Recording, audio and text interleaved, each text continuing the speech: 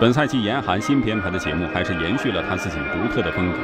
短节目的曲目是《如果我是个有钱人》，自由滑的曲目是《带我飞上月亮》。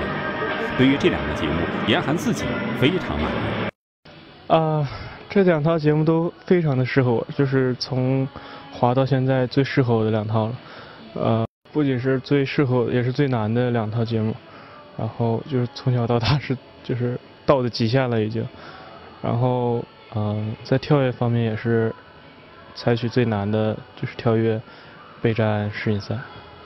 两套节目当中，那个小跳的东西和大跳东西比较多，啊，脚底下那个步法呢也是非常快，啊，也得要求他的滑行技术非常好才能完成。在二月份结束的四大洲花样滑冰锦标赛中，严寒以二百五十九点四七分取得了个人最好的总成绩，并且获得了男单第三名。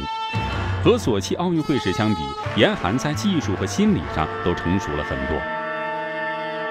嗯，比索契之前很好很多。因为索契之前的时候就是什么也不会了，就是可能是心理压力比较大，然后也紧张。然后奥运会洗礼之后，我就可能就对所有比赛都都还还可以，不是那么的压力大。